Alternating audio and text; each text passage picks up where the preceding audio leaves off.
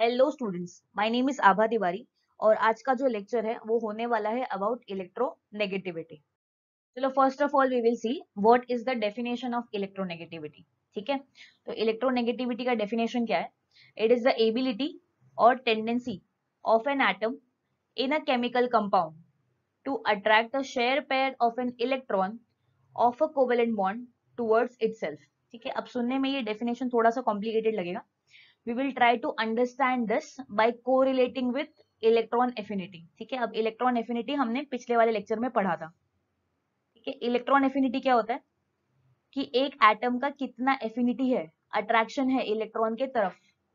मतलब कोई एक एटम है, मान लो एक एटम है ए ठीक है? वो कितने आसानी से इलेक्ट्रॉन को गेन करेगा? ताकि वो क्या बन जाए? एक नेगेटिव आयन बन जाए। मतलब वो एनायन बन जाए। ठीक है? तो this was about electron affinity अब देखते हैं इलेक्ट्रोनेगेटिविटी क्या है। Now this electronegativity is defined in the bonded state ठीक है? और कौन सा बॉन्ड होना चाहिए यहाँ पे? यहाँ पे होना चाहिए कोवेलेंट बॉन्ड अब कोवेलेंट बॉन्ड होता क्या है? It is the bond formed by sharing of an electron ठीक है? तो दो अगर एटम होंगे इस तरीके से, जिन्होंने इलेक्ट्रॉन पेयर को शेयर करा होगा। तो उस बॉन्ड को बोला जाएगा that is a covalent bond ठीक है? मतलब मान लो ए एक एटम है और बी एक एटम है, ठीक है? ए ने अपना इलेक्ट्रॉन दिया बी ने भी अपना इलेक्ट्रॉन दिया। अब हुआ क्या? दोनों ने इलेक्ट्रॉन पेयर को शेयर किया। तो ऐसे बॉन्ड को हम बोलेंगे कोवेलेंट बॉन्ड ठीक है? अब कोवेलेंट बॉन्ड में भी अगर किसी एटम की इलेक्ट्रॉन खींचने की टेंडेंसी ज़्यादा है अपने तरफ़ तो उस प्रॉपर्टी को इलेक्ट्रोनेगेटिविटी कहा जाएगा। मतलब मान लो कि ए एंड बी के बीच में जो इलेक्ट्रॉन है, ठीक है, वो उन दोनों के बीच में ना होके, अगर वो बी के तरफ़ ज़्यादा है, ठीक है मतलब बी का इलेक्ट्रॉन अट्रैक्ट करने का, खींचने का टेंडेंसी ज़्यादा है तो हम इस केस में बोलेंगे कि electronegativity of B is greater than A ठीक है तो इलेक्ट्रॉन एफिनिटी जो टर्म है, ये यूज़ होता है फॉर एन इंडिविजुअल एटम ठीक है, कि कोई एक इंडिविजुअल एटम कितने आसानी से इलेक्ट्रॉन को गेन कर लेगा ताकि वो एनायन बन पाए। और इलेक्ट्रॉन नेगेटिविटी डिफाइंड होती है इन बॉन्डेड स्टेट मतलब बॉन्डेड स्टेट में कोई एटम कितना इलेक्ट्रॉन अपने तरफ़ खींचने की टेंडेंसी रखता है, उस प्रॉपर्टी को बोला जाएगा इलेक्ट्रोनेगेटिविटी ठीक है? अब यहाँ पे हम लोगों ने डेफिनेशन ऑफ़ इलेक्ट्रोनेगेटिविटी तो समझ ली। ठीक है तो एक क्लासिक एग्जांपल डिस्कस कर लेते हैं। अबाउट एच ठीक है हाइड्रोजन फ्लोराइड अब आपको पता है कि हाइड्रोजन जो है, इसका अटोमिक नंबर वन होता है, ठीक है तो इसके पास एक ही इलेक्ट्रॉन है. हाइड्रोजन को चाहिए और एक electron to become stable in duplet state मतलब हीलियम के कॉन्फ़िगरेशन पे जाने के लिए, ठीक है. बट अगर आप फ्लोरीन की बात करोगे तो फ्लोरीन का अटोमिक नंबर होता है नाइन तो इसका इलेक्ट्रॉनिक कॉन्फ़िगरेशन हो जाएगा टू कॉमा सेवन अगेन इसके पास भी एक इलेक्ट्रॉन कम पड़ रहा है. अगर इसको एक इलेक्ट्रॉन मिलेगा तो ये भी नियॉन के कॉन्फ़िगरेशन पे जाके स्टेबल हो जाएगा। ठीक है? मतलब इन दोनों के बीच में कोवेलेंट बॉन्ड बनेगा। मतलब हाइड्रोजन भी अपना एक इलेक्ट्रॉन देगा फ्लोरीन भी अपना एक इलेक्ट्रॉन देगा and there will be a sharing of an electron ठीक है? बट अब शेयरिंग इस तरीके से होती है कि ये जो बॉन्ड है, ये जो इलेक्ट्रॉन है, वो फ्लोरीन के तरफ़ ज़्यादा होता है। मतलब हम यहाँ पे क्या बोल सकते हैं कि electronegativity of fluorine is greater than hydrogen तभी फ्लोरीन क्या कर रहा है? ये दोनों इलेक्ट्रॉन पेयर को अपनी तरफ़ खींच रहा है अट्रैक्ट कर रहा है। As a result of which होगा क्या? कि जो फ्लोरीन है, उसके ऊपर आ जाएगा partial negative charge and hydrogen के ऊपर आ जाएगा पार्शियल पॉजिटिव चार्ज ठीक है? और ये जो बॉन्ड बना है, इसको हम बोलेंगे this is polar covalent bond ठीक है? अब ये जो इलेक्ट्रोनेगेटिविटी है, इसकी कोई यूनिट नहीं होती, ठीक है? इलेक्ट्रोनेगेटिविटी का जो कॉन्सेप्ट है it was given by Pauling ठीक है? तो Pauling was the first scientist who gave the concept of electronegativity ठीक है? और इलेक्ट्रोनेगेटिविटी की वैल्यूज़ मेजर की जाती है by using the Pauling scale ठीक है? Now we will see what are the factors which affect the electronegativity ठीक है? तो पहला जो फैक्टर है दैट इज़ एटॉमिक साइज़ या तो आप बोल सकते हो नंबर ऑफ़ शेल ठीक है? अब, जितना नंबर ऑफ़ शेल इंक्रीज होगा, ठीक है? या जितना एटम का साइज़ इंक्रीज होगा, ठीक है? उतना वैलेंस शेल पे न्यूक्लियर चार्ज क्या लगेगा? कम लगेगा, ठीक है? अब न्यूक्लियर चार्ज अगर कम लग रहा है तो इलेक्ट्रोनेगेटिविटी भी क्या हो जाएगी? इट विल डिक्रीज ठीक है? मतलब हम क्या बोल सकते हैं? Greater the size of an atom lesser will be its electronegativity मतलब हम बोल सकते हैं that they are inversely proportional to each other alright the next factor which affects the electronegativity is nuclear charge अब, जितना न्यूक्लियर चार्ज बढ़ेगा, उतना वो न्यूक्लियस क्या करेगा? शेयर्ड पेयर ऑफ़ इलेक्ट्रॉन को अपने तरफ़ खींचेगा और उतनी ही इलेक्ट्रोनेगेटिविटी भी क्या होगी? इंक्रीज होगी। ठीक है? तो हम क्या बोल सकते हैं? That nuclear charge is directly proportional to electronegativity alright the third factor affecting the electronegativity is shielding effect ठीक है? मतलब जितना ज़्यादा शील्डिंग इफ़ेक्ट या स्क्रीनिंग इफ़ेक्ट लगेगा, ठीक है? उतना बाहर वाले शेल के जो इलेक्ट्रॉन है, ठीक है? या बाहर वाला शेल जो है, उस पर न्यूक्लियर चार्ज क्या होगा? कम लगेगा, ठीक है? और अगर न्यूक्लियर चार्ज ही कम लग रहा है तो इलेक्ट्रॉन खींचने की टेंडेंसी भी क्या हो जाएगी? कम हो जाएगी। तो as a result of which electronegativity also decreases तो हम बोलेंगे दैट शील्डिंग इफ़ेक्ट और screening effect is inversely proportional to electronegativity now the fourth factor which affects the electronegativity value is hybridization state of an atom ठीक है? ना what is this hybridization कि exactly होता क्या ठीक है? अब ये चीज़ आप डिटेल में पढ़ोगे केमिकल बॉन्डिंग में, ठीक है? बट अगर अभी के लिए आपको समझाओ तो हाइब्रिडाइजेशन क्या होता है? कि जब एक से ज़्यादा ऑर्बिटल आपस में इस तरीके से इंटरमिक्स होते हैं कि that gives rise to new hybrid orbital तो उस प्रोसेस को कहा जाता है हाइब्रिडाइजेशन मतलब मान लो, एक एस का ऑर्बिटल है और दो पी के ऑर्बिटल है, ठीक है? ये दोनों आपस में इस तरीके से इंटरमिक्स हो रहे हैं कि इन्होंने तीन sp2 हाइब्रिड ऑर्बिटल बना दिए। तो इस इंटरमिक्सिंग ऑफ़ ऑर्बिटल को हम कहते हैं दिस इज़ हाइब्रिडाइजेशन ठीक है? तो अगर हम यहाँ पे देखें कि जितना कोई भी हाइब्रिड ऑर्बिटल में s कैरेक्टर इंक्रीज होता है, उतना उस ऑर्बिटल की इलेक्ट्रोनेगेटिविटी भी इंक्रीज होती है, ठीक है? तो electronegativity increases with the increase in the s character of the hybrid orbital अब ऐसा क्यों? बिकॉज़ आपने पढ़ा हुआ है कि एस ऑर्बिटल जो होता है that is more toward the nucleus अब जितना वो न्यूक्लियस के तरफ़ होगा, उतना अट्रैक्शन ज़्यादा होगा मतलब उतना न्यूक्लियर चार्ज ज़्यादा होगा। और जितना न्यूक्लियर चार्ज ज़्यादा है, उतना इलेक्ट्रोनेगेटिविटी की वैल्यू भी क्या होगी? ज़्यादा होगी, ठीक है? तो हम क्या बोल सकते हैं? That percentage s character in the hybrid orbital is directly proportional to electronegativity ठीक है? अब यहाँ पे अगर मैं आपको एक example do you have to compare the sp hybrid orbital of carbon with sp2 and sp3 ठीक है, आपको इनकी इलेक्ट्रोनेगेटिविटी के वैल्यूज़ को कंपेयर करना है। या आपको ऑर्डर बताना है कि इलेक्ट्रोनेगेटिविटी का ऑर्डर क्या होगा। ठीक है, अब यहाँ पे आपको क्या डिसाइड करना है, आपको सिर्फ़ परसेंटेज एस देखना है। अब एस में परसेंटेज एस कितना है? फिफ्टी परसेंट मतलब फिफ्टी परसेंट एस का कैरेक्टर है फिफ्टी परसेंट पी का कैरेक्टर है। एसपी टू में परसेंटेज एस कितना हो गया? Thirty three point three three percent बाकी का जो भी है वो पी का कैरेक्टर होगा। सिमिलरली एसपी थ्री में एक एस है, तीन पी है। मतलब यहाँ पे s character is twenty five percent remaining seventy five percent जो है, वो पी का कैरेक्टर है। ठीक है? अब यहाँ पे अगर आप देख रहे हो तो सबसे ज़्यादा एस कैरेक्टर किसमें एसपी में। ठीक है? तो एसपी की इलेक्ट्रोनेगेटिविटी सबसे ज़्यादा है। Followed by sp2 and again sp2 is greater than sp3 ठीक है? Now, the fifth factor which affects the electronegativity value is the bond order. ठीक है, अब बॉन्ड ऑर्डर एग्जैक्टली क्या होता है? ठीक है, अब दो एटम के बीच में कितने नंबर ऑफ़ कोवेलेंट बॉन्ड है, उसको आप बोलते हो बॉन्ड ऑर्डर ठीक है मतलब अगर एग्ज़ाम्पल देखा जाए, ठीक है तो यहाँ पे आप बोल सकते हो कि अगर हम इथेन का एग्ज़ाम्पल देख लें, ठीक है इथेन क्या होता है? It is C two H six ठीक है मतलब यहाँ पे होगा कार्बन कार्बन के बीच में सिंगल बॉन्ड ठीक है बाकी के जो तीन बॉन्ड है, वो बने होंगे हाइड्रोजन के साथ, ठीक है? अब नेक्स्ट अगर आप एग्ज़ाम्पल देख लो इथीन का तो इथीन होता है सी टू एच फोर ठीक है? तो यहाँ पे क्या होता है कार्बन और कार्बन के बीच में there is a double bond बाकी के जो दो बॉन्ड है, वो बनते हैं हाइड्रोजन के साथ।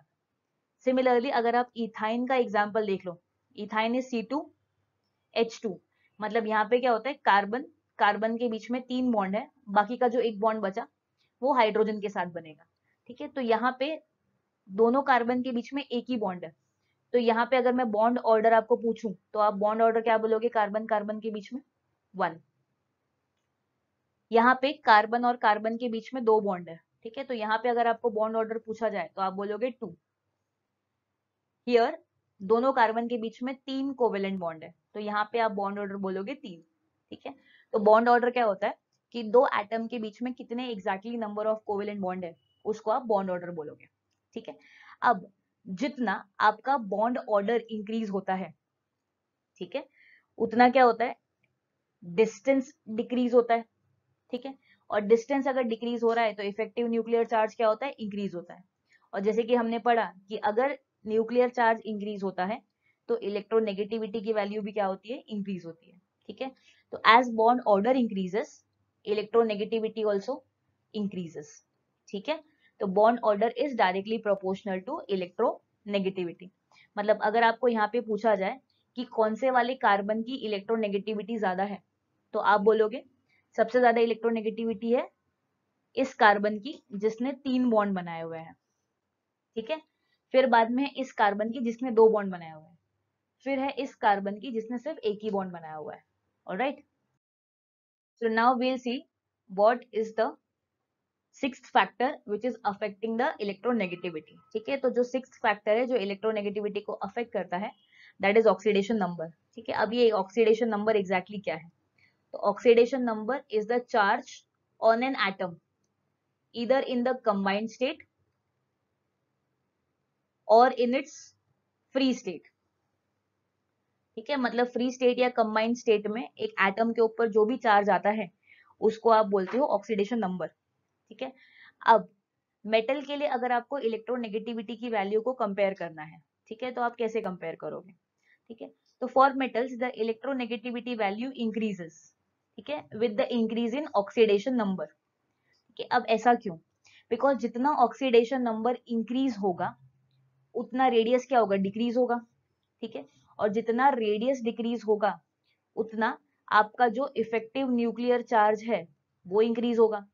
एंड अगर इफ़ेक्टिव न्यूक्लियर चार्ज इंक्रीज हो रहा है तो आपका इलेक्ट्रोनेगेटिविटी की वैल्यू भी क्या होगी? इंक्रीज होगी। तो हम बोल सकते हैं that oxidation number of metals is directly proportional to electronegativity मतलब मान लो हमारे पास एक एग्ज़ाम्पल है हमें Fe, Fe2 प्लस और Fe3 प्लस में कंपेयर करना है इलेक्ट्रोनेगेटिविटी की वैल्यू ठीक है? अब Fe से Fe2 प्लस कैसे बनता है? ठीक है? Fe से अगर आपने दो इलेक्ट्रॉन निकाले, या उसने दो इलेक्ट्रॉन डोनेट किया तो क्या बनेगा? Fe2 प्लस बनेगा। अब Fe3 प्लस कब बनेगा? जब इसने एक और इलेक्ट्रॉन डोनेट किया, तब जाके वो क्या बनेगा? Fe3 प्लस ठीक है? तो जैसे कि हमने डिस्कस किया, जितना इलेक्ट्रॉन निकलेगा, उतना केटाइन पे चार्ज बढ़ेगा। ठीक है? चार्ज बढ़ रहा है मतलब क्या हो रहा है? ऑक्सीडेशन नंबर इंक्रीज हो रहा है। ठीक है? और जितना ऑक्सीडेशन नंबर इंक्रीज होगा, उतना इफ़ेक्टिव न्यूक्लियर चार्ज ज़्यादा लगेगा, ठीक है? और रेडियस क्या हो जाएगा? डिक्रीज हो जाएगा। तो इलेक्ट्रोनेगेटिविटी की वैल्यू क्या हो जाएगी? इंक्रीज हो जाएगी, ठीक है? तो सबसे ज़्यादा चार्ज किसके पास है? Fe3 प्लस के पास। तो Fe3 प्लस की इलेक्ट्रोनेगेटिविटी सबसे ज़्यादा है followed by Fe2 plus Fe2 plus की electronegativity is greater than Fe, ठीक है? अब यहाँ पे एक और बात आपको ध्यान देना है। ठीक है, कि यहाँ पे हाफ़ फिल्ड और फुल फिल्ड कॉन्फ़िगरेशन का, ठीक है इलेक्ट्रोनेगेटिविटी से कुछ भी लेना देना नहीं है। क्यों? Because electronegativity is just the capacity और the tendency of a nucleus to attract the electron ठीक है? यहाँ पे एक्चुअली में इलेक्ट्रॉन गेन नहीं होता मतलब इलेक्ट्रॉन ऑर्बिट में एंटर नहीं होता। तो यहाँ पे हाफ़ फ़ील्ड या फुल फ़ील्ड कॉन्फ़िगरेशन का कोई रिलेशन नहीं है।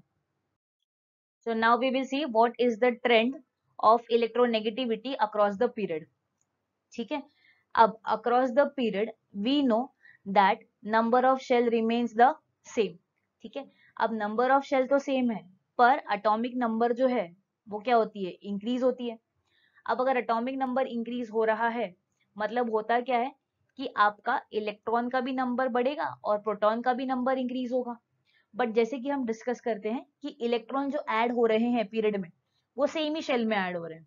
और सेम शेल के इलेक्ट्रॉन उतना ज़्यादा स्क्रीनिंग इफ़ेक्ट नहीं लगाते। ठीक है? तो प्रोटॉन तो तेज़ी से बढ़ रहा है। अब प्रोटॉन अगर बढ़ेगा तो वो क्या करेगा? न्यूक्लियर चार्ज भी क्या करेगा? इंक्रीज कर देगा। And if the nuclear charge increases atomic size decreases मतलब अगर आप लेफ़्ट टू राइट जाओगे, ठीक है? यहाँ पे देखो हमारे पास दो पीरियड के एग्ज़ाम्पल हैं। Period two and period three का, ठीक है? तो अगर आप लेफ़्ट टू राइट जाओगे, कोई भी पीरियड में up till halogen the electronegativity value increases और आपको यहाँ पे याद रखना है कि पूरे पीरियोडिक टेबल में सबसे ज़्यादा इलेक्ट्रोनेगेटिव एलिमेंट जो है, वो होता है फ्लोरीन फ्लोरीन की electronegativity as per Pauling scale is four ठीक है? Second most electronegative element is oxygen ठीक है? ऑक्सीजन की इलेक्ट्रोनेगेटिविटी कितनी होती है? 3.5 ठीक है? Third electronegative element is chlorine जिसका इलेक्ट्रोनेगेटिविटी वैल्यू आता है थ्री ठीक है? और क्लोरीन और नाइट्रोजन की इलेक्ट्रोनेगेटिविटी की वैल्यू नियरली सेम होती है. राइट अब देखते हैं डाउन द ग्रुप क्या ट्रेंड है. ठीक है? अब आपको पता है डाउन द ग्रुप क्या होता है? कि आपका जो नंबर ऑफ़ शेल है, वो इंक्रीज होता है.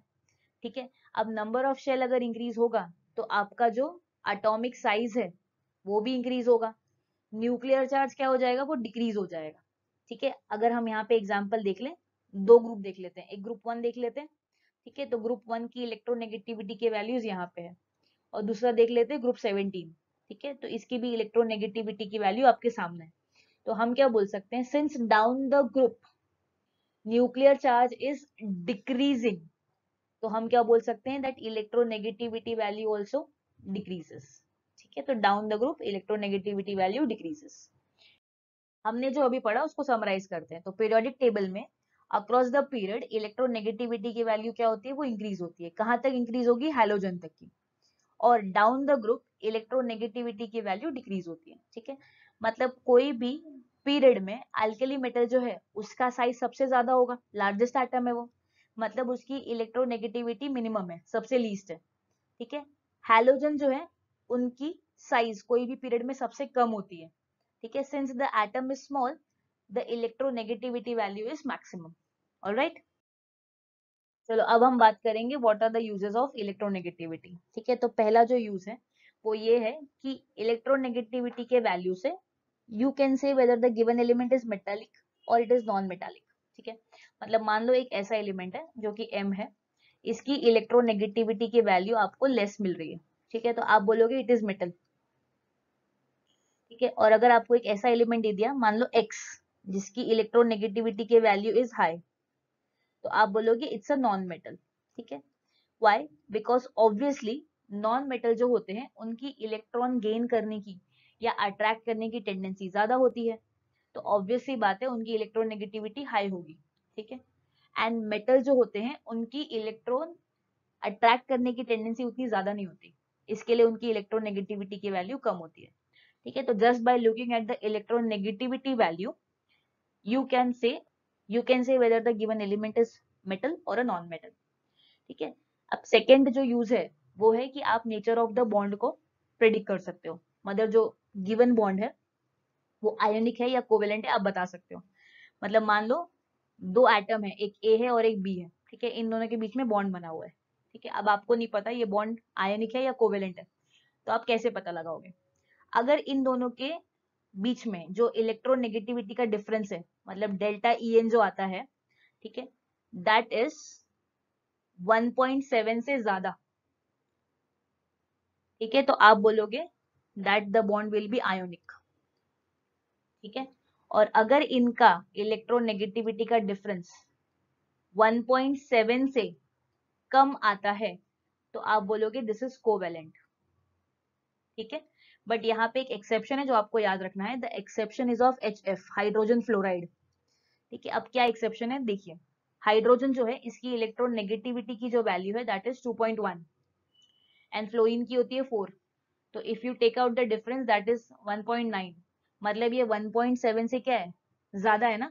मतलब ये होना चाहिए था आयोनिक ठीक है? But it is not ionic it is actually covalent ठीक है? तो you have to remember this exception third जो एडवांटेज है, या थर्ड जो यूज़ है इलेक्ट्रोनेगेटिविटी का, वो ये है कि आप इलेक्ट्रोनेगेटिविटी के वैल्यू से प्रेडिक्ट और एक्सप्लेन कर सकते हो बहुत सारे बॉन्ड की प्रॉपर्टीज़ ठीक है? Related to energy charge etcetera अब कौन से कौन सी प्रॉपर्टीज़ आप प्रेडिक्ट कर सकते हो? पहला तो आप प्रिडिक्ट कर सकते हो बॉन्ड की पोलैरिटी ठीक है? मतलब अगर बॉन्ड कोवेलेंट भी है तो हमने पढ़ा है कि जो कोवेलेंट बॉन्ड होते हैं, ठीक है? वो दो टाइप के होते हैं। ये पोलार भी हो सकता है या नॉन पोलार भी हो सकता है, ठीक है? तो आप पोलैरिटी को क्या कर सकते हो? प्रेडिक्ट कर सकते हो यहाँ पे, ठीक है? दूसरा, आप बॉन्ड लेंथ बता सकते हो। अब अगर इलेक्ट्रोनेगेटिविटी का जो डिफरेंस है मतलब डेल्टा ई एन अगर जो है, वो ज़्यादा है, ठीक है? तो difference of electronegativity is more so bond length will be less ठीक है? और अगर दो एटम के बीच में लेंथ या डिस्टेंस ही कम है, ठीक है? तो उन्हें तोड़ने के लिए आपको एनर्जी भी ज़्यादा देनी पड़ेगी। तो if bond length is less bond dissociation energy क्या हो जाएगी? इट विल बी हाई ठीक है? और लास्ट में जैसे कि हमने पढ़ा, आप आयोनिक या कोवेलेंट कैरेक्टर बता सकते हो, ठीक है? लास्ट जो एडवांटेज या यूज़ है इलेक्ट्रोनेगेटिविटी का, वो ये है कि आप नोमेन कर सकते हो बाइनरी कंपाउंड्स का, ठीक है? ना नोमेन क्या होता है? नेमिंग करना है आपको बाइनरी कंपाउंड का। बाइनरी मतलब क्या? ऐसा कंपाउंड जिसके अंदर सिर्फ़ दो ही एलिमेंट है, ठीक है? मान लो हमारे पास एक एग्ज़ाम्पल है NaCl का।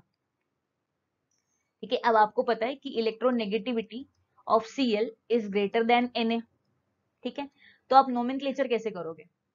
जो एलिमेंट जो एलिमेंट लेस इलेक्ट्रोनेगेटिव होता है, ठीक है, उसको आप पहले लिखते हो। और जो एलिमेंट की इलेक्ट्रोनेगेटिविटी ज़्यादा होती है, आप उसको सेकेंड हाफ़ में लिखते हो, ठीक है? और ध्यान रखना है, ज़्यादा इलेक्ट्रोनेगेटिव एलिमेंट के सामने एक सफिक्स लगाना है कॉल्ड एज आइड आईडीई ठीक है? मतलब अगर मान लो NaCl को नेम करना है तो Na की इलेक्ट्रोनेगेटिविटी कम है। तो वो क्या हो जाएगा? वो पहले आएगा। ठीक है? तो आप लिखोगे यहाँ पे सोडियम फ़र्स्ट हाफ़ में। क्लोरीन की इलेक्ट्रोनेगेटिविटी ज़्यादा है तो वो सेकेंड हाफ़ में चला जाएगा। बट आपको ध्यान क्या रखना है कि यहाँ पे आपको सफिक्स लगाना है आइड। तो ये बन जाएगा सोडियम क्लोराइड सिमिलरली मान लो अगर एक ऐसा एटम है, ठीक है? एक ऐसा बॉन्ड है which is between C L and I ठीक है? तो आप इसको नेम कैसे करोगे? Now here also you know that electronegativity of chlorine is more than iodine ठीक है तो आयोडीन पहले आएगा क्लोरीन बाद में एंड क्लोरीन के सामने आपको आइड लगाना होगा। तो इसका नाम हो जाएगा आयोडीन क्लोराइड ठीक है तो it helps us to name the binary compounds ठीक है तो that was about the electronegativity I hope you have understood this thank you